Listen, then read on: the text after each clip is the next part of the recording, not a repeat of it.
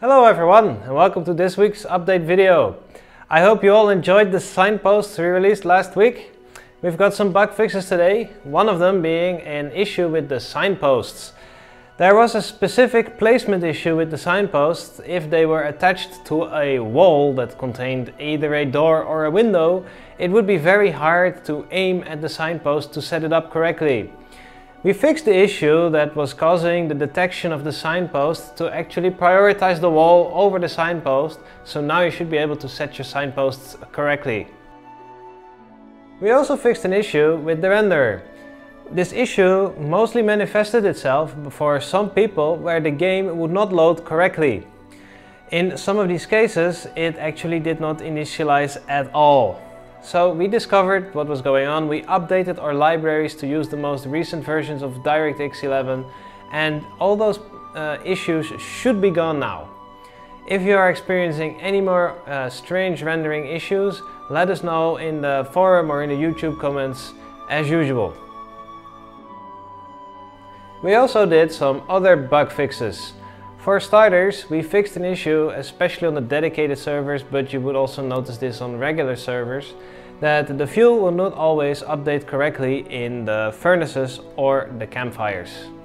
It has now been resynchronized and it should now always be correct. We also added a little tooltip showing you just how much time you have left on your fuel. We also fixed a bug where house founders of any house could actually promote members in other houses all the way up to founder. It was an incredibly silly check and it was of course very important that we fixed it. We fixed the synchronization on the character pickup animation and we fixed various other little things. You can find them in the description below. I would like to briefly talk about the feedback we received from our uh, pack of PvP mods. Uh, the weapon protection uh, mod that prevented people from damaging stone walls with a wooden club uh, mostly received positive feedback, so I think this is something we will definitely keep in mind. The Claim Blocks Require Sky mod received a mixed set of uh, feedback, where some people really loved the idea. Most of these people played on servers where they had gentlemen's agreement on whether or not you would be allowed to attack castles. Whereas people who are playing on the more free-for-all open world PvP servers that are there, they mostly didn't like the idea of not being able to entomb their claim blocks in their castles. So I've made a change to this mod. It now ignores uh, grid collisions, so you are able to build it inside your castle again. We are still not allowing you to build it underground. Uh, the requirement still here stands that people cannot dig the soil, so we don't want you to entomb your claim block in a pile of sand.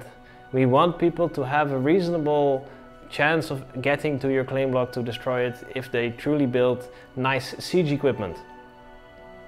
And finally, the grid protection system, that one had a lot of interesting feedback and I really enjoyed reading through it.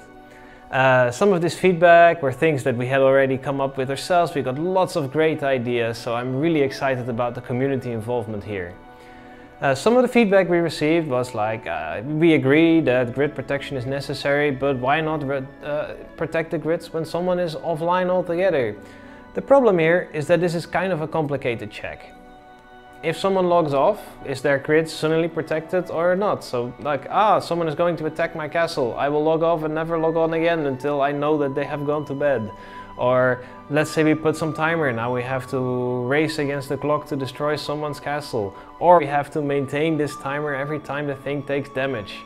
Also, what about someone from your house is in your castle defending it? Though they affect this timer, it became very complicated, so we really did not want to make it around offline protection, but we would rather focus it on some kind of window. So one of our ideas is that we make the time window uh, area bound. So each claimed area can set different time periods, so that if you have area here and area there. You could give two different times that are in your ideal time zone rather than in someone else's. Of course, this is not a perfect solution, so we will continue searching for more ideas, so please keep them coming. Finally, I would like to do two community spotlights. First, I would like to show you guys this Abbey by Maxwell. I think it's a really great uh, building. It uses lots of different mods and I think it looks fantastic. It even uses one of our example mods that we are considering making part of vanilla at the moment.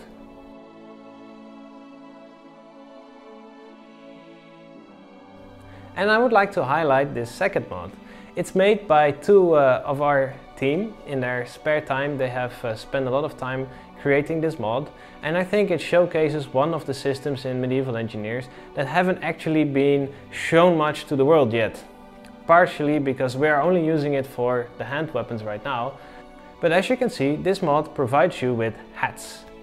So barbarians are running around wearing silly hats and you can kill these barbarians, take their hat and equip them like you equip any tool. Just right click the hat and off you go. I think it's a perfect example of what can be modded in Medieval Engineers now and I'm looking forward to seeing what you guys will start doing with these. Well that was it for this week. I will see you all next week. Bye!